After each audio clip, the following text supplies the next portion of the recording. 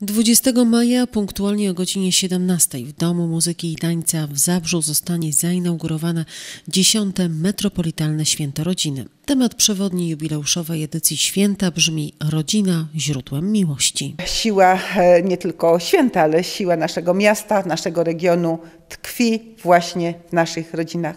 To wspólnie z rodzinami budujemy. Myślę, że to, że udało się e, doprowadzić do powstania metropolii, to też siła naszych rodzin. Dziś trzeba nam dalej budować, dziś trzeba nam, trzymając się mocno za ręce, za ręce w rodzinach, w tych małej, w tej najmniejszej komórce, ale też w tych rodzinach miejskich, w tej rodzinie aglomeracji, trzeba nam nadal budować, budować na dobrych, sprawdzonych fundamentach. My je znamy, nakreślił je Jan Paweł II.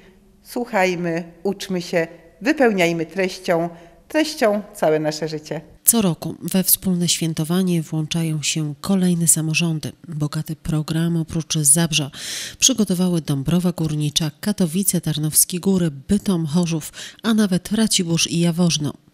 W ramach dziesiątej edycji Metropolitalnego Święta Rodziny w Zabrzu zaplanowano premierę spektaklu Bajki o krasnoludkach i sierotce Marysi, wykłady i mini kurs języka migowego w ramach projektu Miasto Głuchych, Dzień Sąsiada oraz konferencję Zabrzanie razem dla rodziny. Od 10 lat program Metropolitalnego Święta Rodziny jest coraz szerszy, coraz wspanialszy, że włączają się do tego świętowania mm, coraz nowe samorządy, jednostki, stowarzyszenia, organizacje.